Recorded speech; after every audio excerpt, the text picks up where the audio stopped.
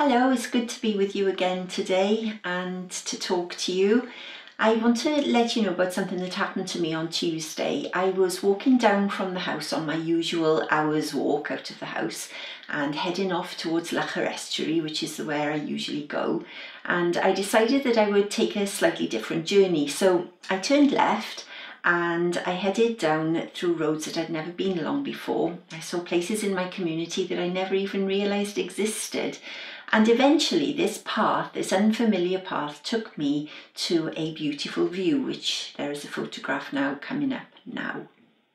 That view is of Loughor Castle, and I've lived in Loughor for 12 years and I have never ever seen the castle from that angle before.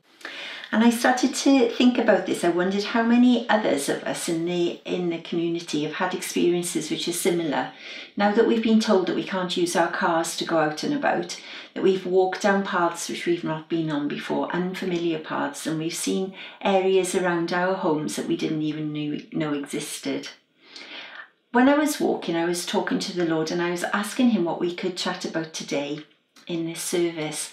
And a Bible verse came into my mind, and I really think this is where God wanted, wanted us to, to uh, what God wanted me to talk to you about today. I will lead the blind by ways they have not known. Along unfamiliar paths I will guide them. I will turn the darkness into light before them and make the rough places smooth. These are the things that I will do. I will not forsake them. Isaiah 42, verse 16. And it was that phrase, along unfamiliar paths, that really jumped out to me. And I thought, yes, God, you have got something to say today. And so for the next 15 minutes or so, I'm going to try and express that and encourage us all on the journey that we're on right at this moment. The verse starts with this phrase I will lead the blind by ways they have not known. A blind person will use their hands or a stick to feel for familiar objects or structures to help them move forward. But if they were to be put into a room or to an area that they were unfamiliar with, where there were no objects that they recognised and nothing familiar to help them move forward, they will quickly be, fe- be feeling quite disorientated and vulnerable and potentially exposed to harm. The relevance of the Bible verse that I've read is so blatantly clear. We are really on an unfamiliar path. The usual structures that we touch every day that help us move forward as individuals and as a society have either been changed or have been taken away. From our simple daily routines, our freedom to go where we want, when we want, our jobs, our finance, our network of support, right through to big economic structures around the world, things have changed. There's been a sudden diversion, and we find ourselves like that blind man on an unfamiliar path in an unfamiliar area, walking along a, a way that is leaving us possibly feeling quite disorientated and vulnerable and even exposed to potential harm. We really need somebody to guide us. It's not a time to criticise world leaders and to point the finger at them because they also need someone to guide them. And I believe that the God who spoke out those words centuries ago, ago is speaking again today. He is saying, I will lead the blind by ways they have not known. Along unfamiliar paths I will guide them. There's a more modern translation in the Message Bible, and it reads like this God says, I will take the hand of those who don't know the way, who can't see where they're going. I'll be a personal guide to them, directing them through unknown country. I'll be right there to show them what roads to take, make sure they don't fall into the ditch. These are the things I'll be doing for them. I'll be sticking with them, not leaving them for a minute. I need to ask you a question today, and the question is this are you willing to let God take your hand and be your personal guide? We have a choice. We could try, try and make our own way through this crisis, make adjustments in our thinking, adapt our routines, put new routines and structures in place to help us feel in control again, or we can put, put up our hand and we could say to God, Lord, I need you to guide me. I need you to lead the way. I need to follow you. I believe strongly with all of my conviction that when God hears that prayer, He answers and He gives wisdom and strategies and directions to those who ask. I also believe that there are people in crucial decision making roles within society that are praying that prayer right now God, guide me, help me, lead me. And for those leaders who don't have a God awareness, I really believe that there will be people within their organisations who are praying for them regularly. God, lead them, guide them. Whatever situation we're in right now, God's word to us is true. Whether we're in isolation, just trying to figure out how we're going to get our shopping in, or whether we've got a house full of kids and our patience is just wearing thin. Whether you're going out to, to somebody's home as a carer and you're worried because you haven't got personal protective equipment, or you might be you might be in the intensive care unit heading a shift up and you may be faced with really difficult situations to handle. God's word is for you today. I will take you by your hand. You might not know your way. You might not see where you're going, but I will be your personal guide. I will direct you. I'll be there to show you. I'll be there and I won't leave you for a minute. That's God's word for all of us whatever our situation right now. Have you ever gone on a journey and you haven't been prepared? I have, and it's really horrible. My mother and father in law, Linda and Kerry Williams, who actually are probably watching right now. Hi, Linda. Hi, Kerry. They are the most organised people that I know, and their approach to going on a trip is really, really careful. They plan in advance and they get everything ready that they want to pack and they're ready to go away in advance of the actual date they're leaving. Michael and I, we have a slightly different approach, and I think our approach to travelling has stressed Linda and Kerry out on a number of occasions because we're not nearly as prepared. But Linda and Kerry enjoy going to a specific location for their holiday, and because of that, they know exactly how to prepare themselves for that trip. But the trouble about this journey that we've all begun is that we don't know the exact details of what is ahead, and because of that, it's more difficult to be prepared. We don't know how long it's going to last, how things are going to pan out over the next few months, how it's going to affect us and our original plans for 2020, our education, our career pathways, our health. There are so many unknowns about this journey, and we have to ask ourselves how can we prepare? Imagine uh, you or I were about to embark on a trek, say the Himalayas for instance. A really wise move would be get to get advice from somebody who really knows the landscape and the location. And the safest way along that journey would be to have somebody as a guide, not just to follow, but also to listen to the advice they give on what to take and what to leave behind. You see, we could really easily put our trust in the local guide and follow every step that he took. We could have confidence that the journey would go really well.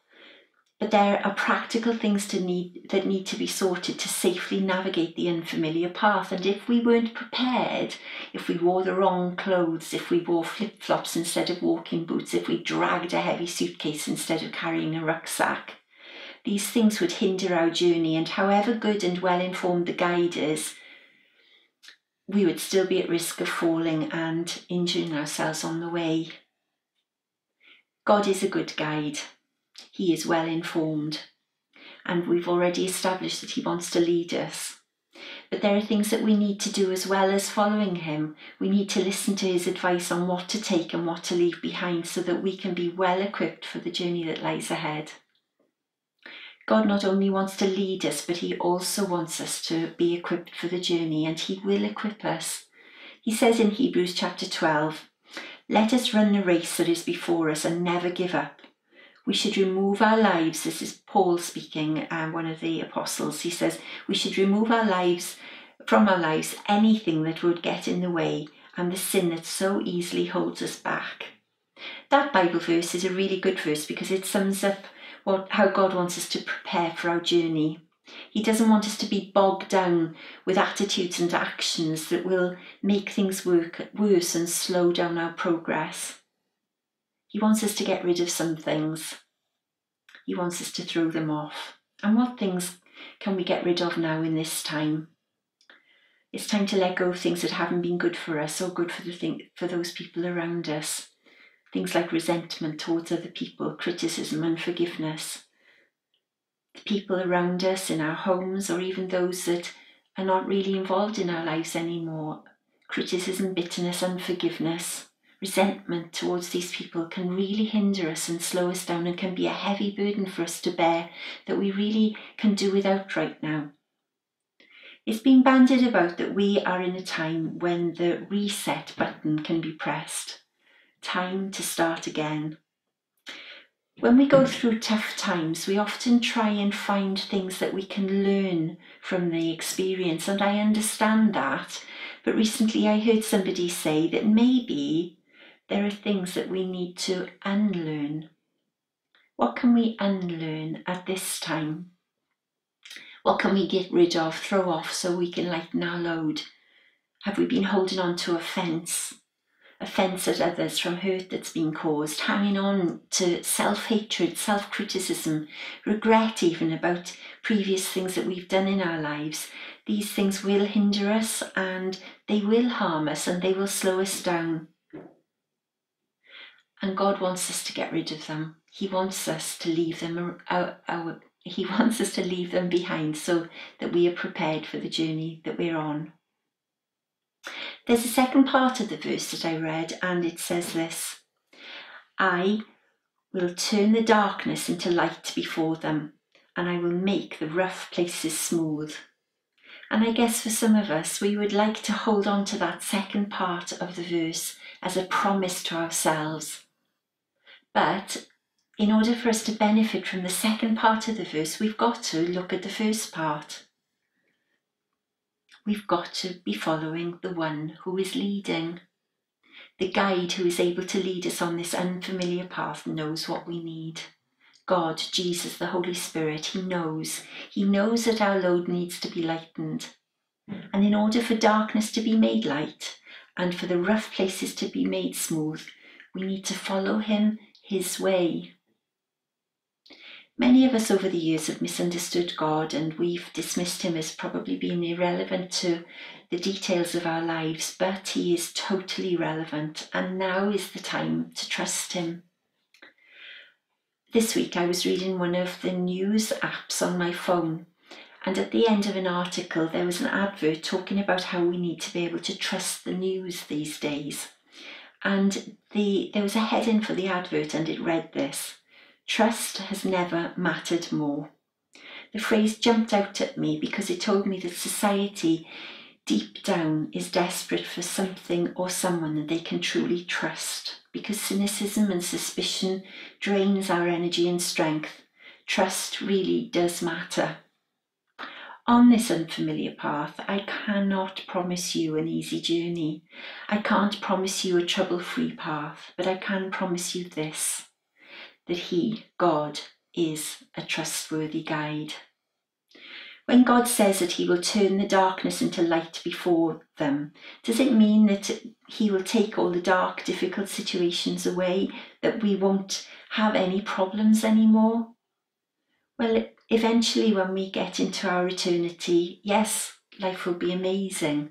But now, while we are on earth, this side of eternity, while we are still living and breathing, I've lived long enough to know that there are some very challenging situations and dark times to face. Next week, I, I start six months of chemotherapy treatment, so I understand this. I'm work, walking through this journey now. But I also know the words that Jesus spoke in the chapter of John, uh, Gospel of John, chapter 8, and they're profound words. And he says this I am the light of the world. The person who follows me will never live in darkness, but will have the light that gives life. When we trust God as our guide and follow Him, Jesus, the light of the world, is directly in front of us. His light captures our attention. Psalm 125 says that as the mountains surround Jerusalem, so the Lord surrounds his people. So if God surrounds us, then his light surrounds us. And that is why Jesus could say, The person who follows me will never live in darkness, but will have the light that gives life.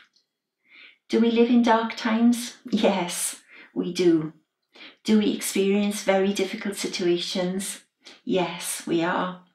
But somehow, quite miraculously, as we keep following Him, our trustworthy guide, I know from my own experiences that it is possible to know supernatural peace in the middle of a storm, to know calm in trouble and light in the middle of darkness. There's another path spoken about in the psalm, and it's a well known Psalm 23. In this psalm, the writer talks about being led along a deep, dark valley shadowed by death, and also along pools of refreshing waters where his soul, is restored. In the middle of this psalm, he says, I will not be afraid, for you are with me. Who is he talking about there? He's talking about God, his trustworthy guide, his good shepherd.